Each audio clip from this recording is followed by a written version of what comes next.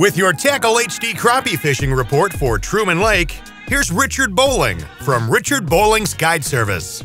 Hello, Richard Bowling here. Richard Bowling's Guide Service fishing report for the week here on Truman Lake. Lake level right now is 705.57. Water temperature is uh, 57 degrees. It went from uh, 64 last week down to 57 now.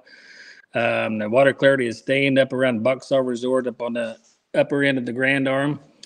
Fish bite was uh, kind of scattered today. We're catching them on live scope now. That um, just covering the creeks, uh, just like it was before the spawn started. I'm getting in the middle of these creeks, running up and down the creeks with live scope. Uh, today I had two trips out, caught everything on the baby shad, made by Tackle HD. Um, they eat that bait really good, that color right there and uh, just covering water. You know, a lot of these fish are three foot on the surface, down to 10 foot down. I'm fishing 10 foot of water out to 20 foot of water. Some fish been on structure, but most was in Roman. And for your live scopers, you're going to catch more fish than the bank fishermen. The uh, the uh, guy's going to do the uh, spider rigging. These fish are so many different depths in the water column. It's going to be hard to catch them with the with a spider rigging. So, live scoping on a jig, you don't have to have a minnow.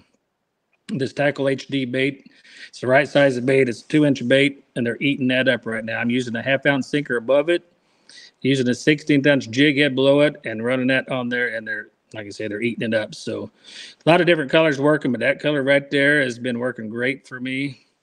It's the baby shad and uh, just covering water. Like I say, get in the spotting creeks, any creek, any ditch, any pocket that's got a little bit of water in it is going to hold fish. And these fish will move back up to spawn, but they kind of got uh, staged back out just because of the cold weather and the water running. So the bank bite will come back, but for the next four or five days, we've got a cold front coming in. Um, stay out in the middle of the creeks, in the middle of the channel in the creeks, and uh, cover water with that live scope. And uh, you'll catch a good lemons of fish, but it's a little slower than what it should be. I'll see you guys on the water.